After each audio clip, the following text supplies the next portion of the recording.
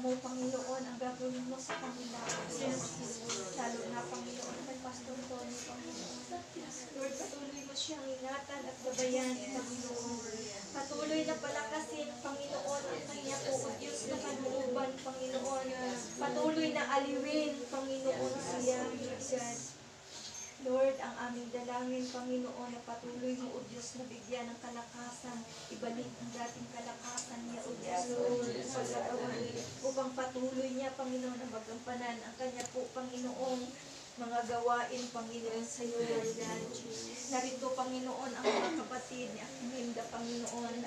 Lord, patuloy mo, O Diyos, silang tulungan na ang lahat ng ito, Panginoon, ay matanggap, Panginoon, ang kanilang kalooban, O Diyos. Dahil ang lahat, Panginoon, ay pupunta sa ganitong kalagayan.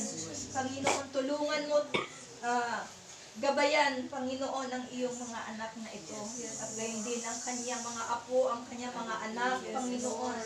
Lord, ah, ikaw, O Diyos, ang siyang patuloy, Panginoon, na maggabay sa kanila pong mga buhay. Na ang lahat ng ito, Panginoon, ay matanggap, O Diyos, dahil ikaw ang may akda, Panginoon, ng lahat ng ito, God.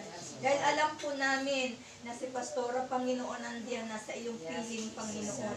Lord God, kung meron man siya, Panginoon, na hinihiling sa iyo, ay ang kanya, Panginoong, as, ah, asawa ni Pastor, Panginoon, at ang kanyang mga anak, ang kanyang mga apo, mga kapatid at mga nugang, Panginoon, ay kanyang inilalapit sa iyo, O Diyos. Kaya, Panginoon, sa oras na ito, ay aking idinadalangin sa pagitan ng iyong banal na Espiritu, Panginoon, ay patuloy na mag-aliw sa kanilang lahat, Panginoon.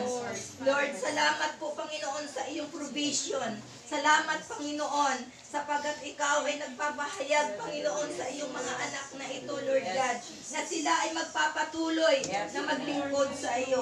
At alam ko, Panginoon, na isa ito sa mga mithiin ni Pastora, Panginoon, na magkakaisa sila, Panginoon, yan sa iyong piling, Lord God. Sa paraisong iyong ah, pinapangako, Panginoon. Kaya, Lord, dalangin po, Panginoon, sa mga anak, Panginoon, ni Pastor Aminda at kanyang manugang at apo na hindi nila, Panginoon, pababayaan din si Pastor Tony, Panginoon, alagaan po nila, Lord, ang kanila, Panginoon, naiiwan pa na Ama, Panginoon, ng tahanan, Lord God.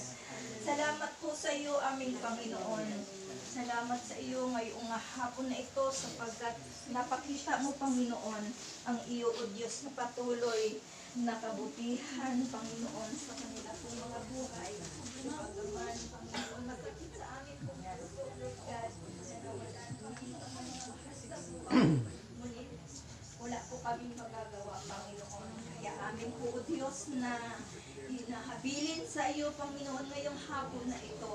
Ang kapayapaan, Panginoon, at ang iyong kaaliwan ng iyong banal na Espiritu ay narito sa tahanan ito, Panginoon. Salamat po, Lord God, sa hapon ito. Ito po ang aming dalangin sa pangalan po ng Ama, sa anak na si Jesus Kristo at ang patnubay ng banal na Espiritu.